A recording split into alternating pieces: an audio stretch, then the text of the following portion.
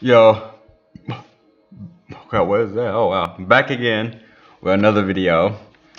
This video is about IT, computer, hardware, software, all that stuff. You know, specific development that deals any form with computer hardware, cell phone, all that stuff. I'm just gonna give you a general detail of this. You can send in your request down and to just comment oh, or hit me up on my email.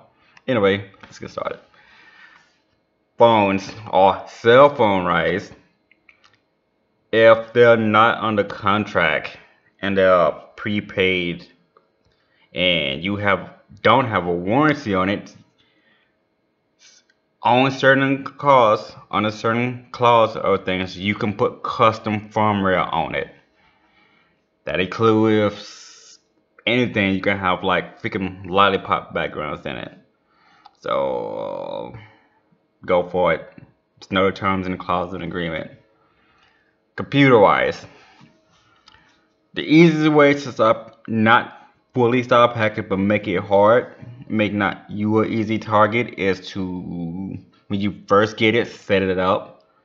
But if you are in the process and you need to set it up and you already there, the easiest things to do is probably would be just unplug any form connection with that service or signal that's coming into that computer.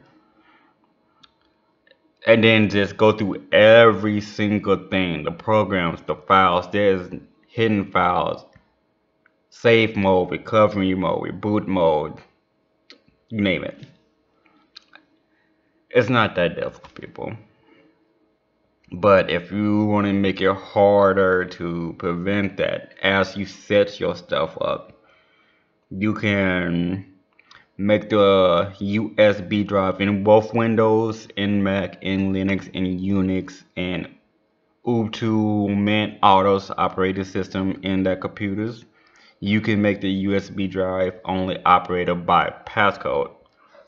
Don't forget passcodes or passwords are implanted in certain files of the computer so no matter even if you delete that cache file and temporary file it's still in that computer. So when you call a company and it says sorry we don't have this they BSing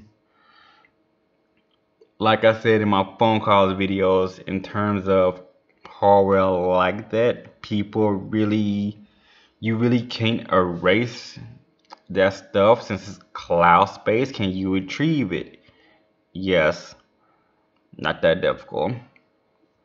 So in my situation if i have a recording of something and somebody think they did delete it the fact that process that caused that process to happen is still there. So all thing I had to do is go through that process to make sure that process happens. It's like in order to screw you, in order to screw you, must screw yourself, basically. In order to screw someone, you basically must put yourself in screw position, especially if you have some that know what they're doing. It's not that difficult. Um, that's computer hardware. These are not computer hardware. It's not that difficult to make. I don't know why people make it seems harder than it is. Or the communication or Wi-Fi or internet. There's only two forms of any forms that currently have internet signals. There's satellite and or internet.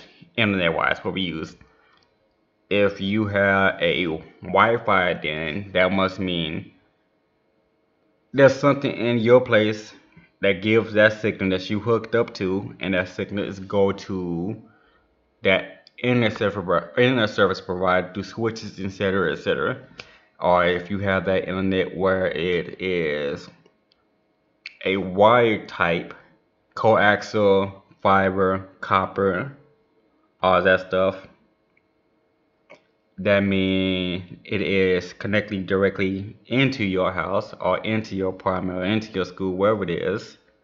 and that, that internet. Those are the only two separate forms of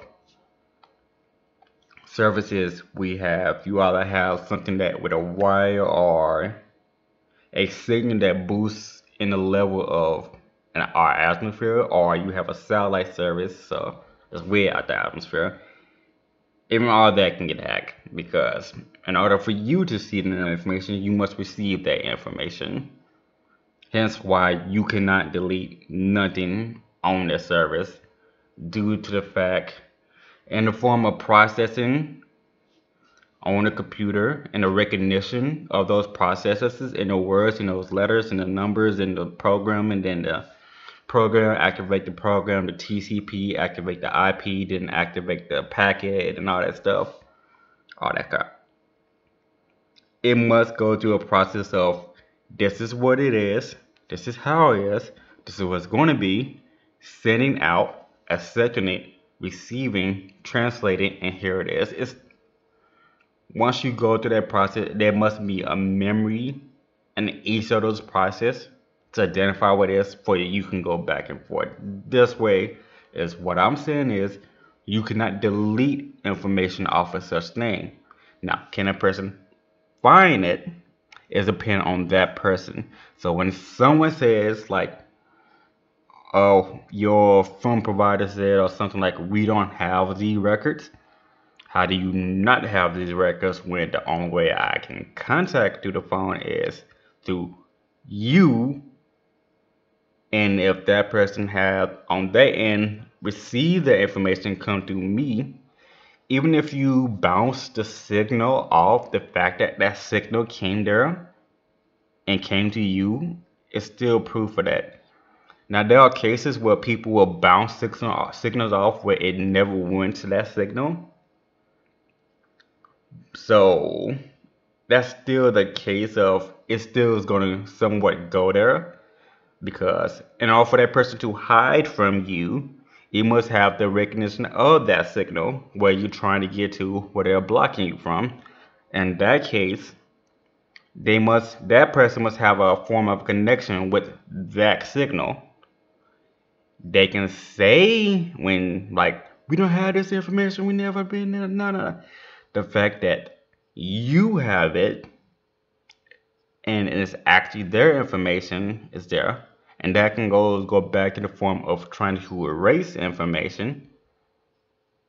The best thing you can do in terms of a normal person is like kill their computer or kill their phone or system entirely.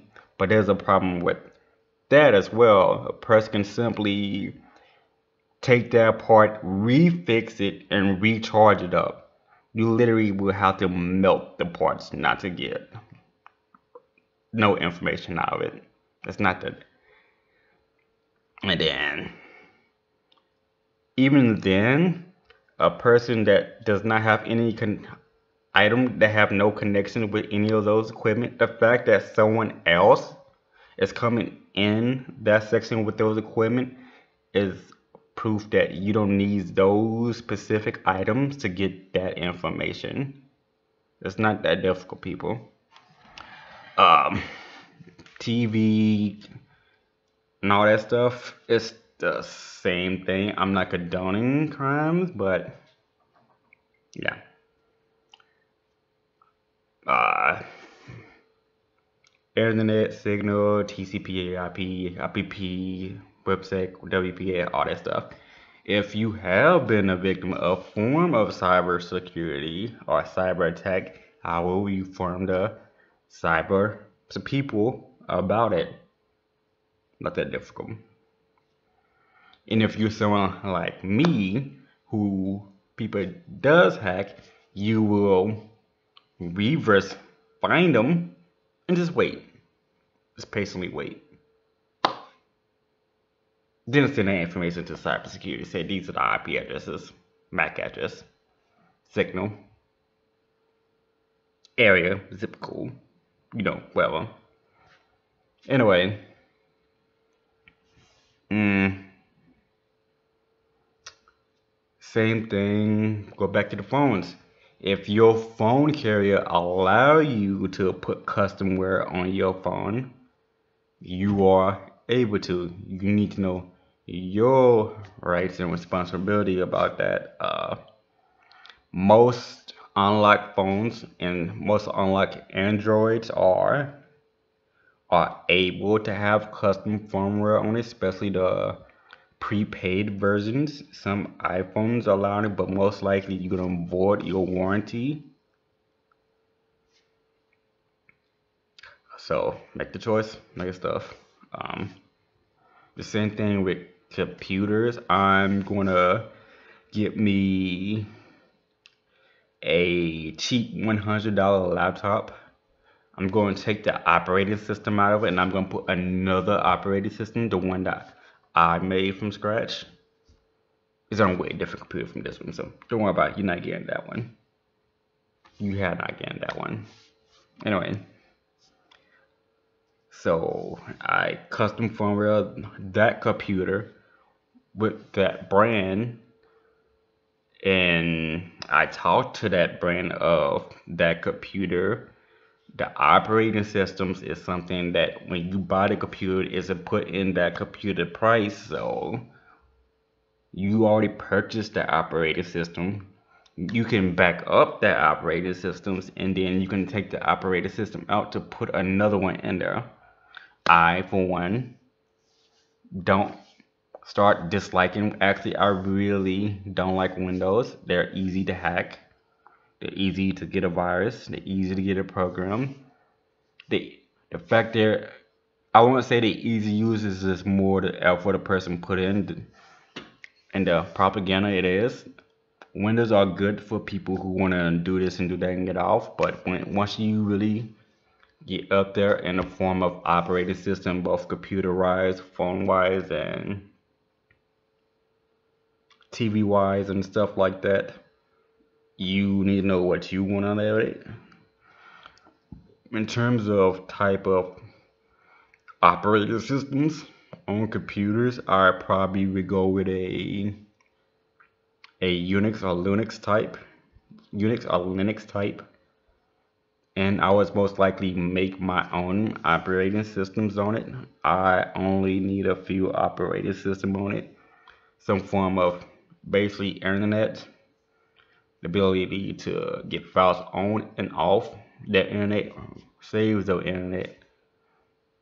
That's pretty much it. If I want to get into more difficult stuff like graphic designing, game designing, or software development, I would probably buy another computer, cheap, or make my own, which is also cheap, very cheap, cheaper to buy as whole. I'm not saying if you don't but anyway, it's a, by that, and I would designate that as that software development computer because designate as that person instead of having one computer for everything.